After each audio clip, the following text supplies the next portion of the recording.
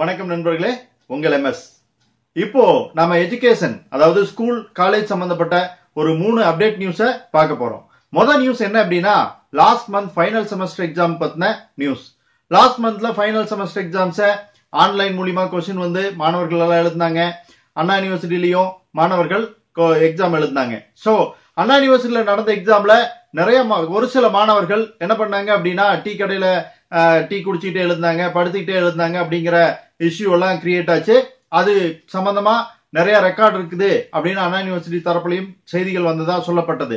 So அந்த மாதிரியான மாணவர்களுக்கு வந்து தேர்வுல ஆப்சன்ட் வழங்க போறதா அறிவிச்சிருக்கிறாங்க. உண்மையிலேயே நான் கூட அண்ணா யூனிவர்சிட்டி பத்தி போட்டிருந்த வீடியோல என்ன சொல்லியிருந்தேன்னா எக்ஸாம் வந்து படிச்சுட்டா நடக்க போகுது. அதனால சின்சியரா எழுதுங்க நண்பர்களே அப்படின்னு கேட்டிருந்தேன். நண்பர்கள் சில பேர் அதை வயலேட் பண்ணியிருக்காங்க. ஸோ அதனால அவங்களுக்கு ஆப்சன்ட் வர்றதுக்கான வாய்ப்பு அதிகரிச்சிருக்குது. ஒண்ணுமே பண்ண முடியாத சூழ்நிலை. ரெண்டாவது ஃபைனல் செமஸ்டர் எக்ஸாம் அப்படின்னு பார்த்தோம்னா சென்னை அண்ணா யூனிவர்சிட்டி முத முதல்ல ஃபைனல் செமஸ்டர் மார்க் அனௌன்ஸ் கொடுக்க போற விதத்தை பத்தி அனௌன்ஸ் பண்ணாங்க. அவங்களோட ரிசல்ட் இன்னைக்கு ஈவினிங் வரப்போகுது. ஸோ அவங்க வந்து எந்த வெப்சைட்ல பார்க்கணும் அப்படிங்கிறது அவங்களுக்கு தெரியும். தெரியலன்னா நான் டிஸ்கிரிப்ஷன்ல கொடுக்குறேன். நீங்க உங்களோட ரிசல்ட்டை பாருங்க. உங்க எல்லாத்துக்கும் நல்ல ரிசல்ட் வரும் அப்படின்னு தான் நான் எதிர்பார்க்கிறேன். ஸோ நல்ல ரிசல்ட் வாங்க போற நண்பர்கள் எல்லாத்துக்குமே என்னுடைய மனமார்ந்த வாழ்த்துக்கள்.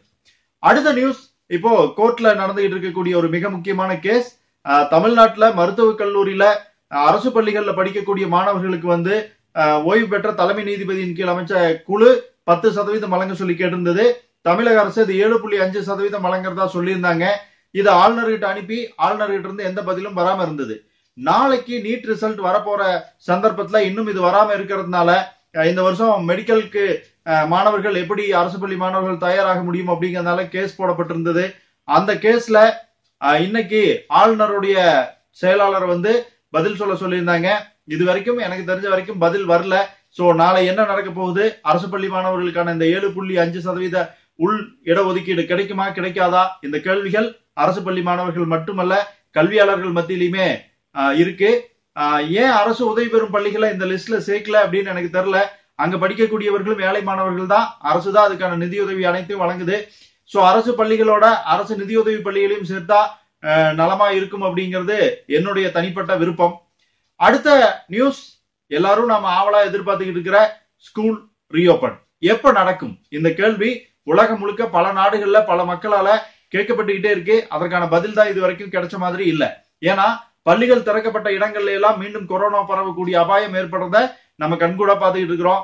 நம்ம பக்கத்து மாநிலமான கர்நாடகத்துல ஆசிரியர்கள் கொரோனாவுக்கு பலியானதா தகவல் வந்தது. அது எத்தனை சதவீதம் உண்மை அப்படிங்கறத சொல்ல முடியல. ஆந்திராவுல மாணவர்கள் கொரோனாவால பாதிக்கப்பட்டதை பார்த்தோம். அமெரிக்காவிலையும் அதே மாதிரி மாணவர்கள் வந்து கொரோனாவுல அதிக சதவீதத்துல பாதிக்கப்படுறதையும் பார்த்தோம்.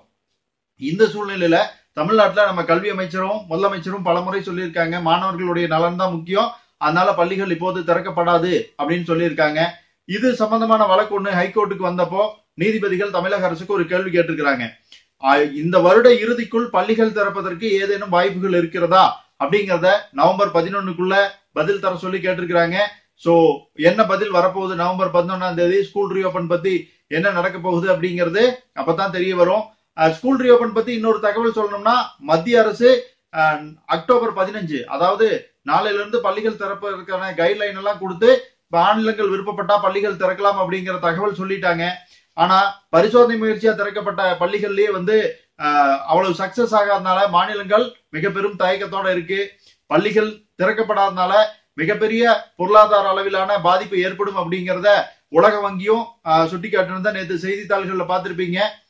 பல லட்சம் கோடி அளவுக்கு இழப்பு ஏற்படலாம்னு.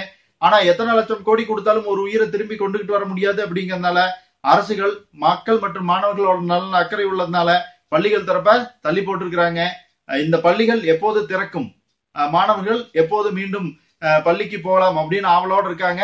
அவங்களோட உடல்நலம் உயிர் ரெண்டும் முக்கியம் அப்படிங்கறதுனால நல்ல ஒரு தீர்வு கிடைக்கும் வரை பள்ளிகள் திறக்கப்படாது அப்படின்னு தான் நான் நினைக்கிறேன். ஸோ நண்பர்களே இந்த தகவலை உங்க ஃப்ரெண்ட்ஸோட ஷேர் பண்ணிக்கங்க. மறக்காம வீடியோ பிடிச்சிருந்தா சப்ஸ்கிரைப் பண்ணி லைக் பண்ணுங்க. மீண்டும் அடுத்த வீடியோவில் சந்திப்போம் நண்பர்களே. வணக்கம்.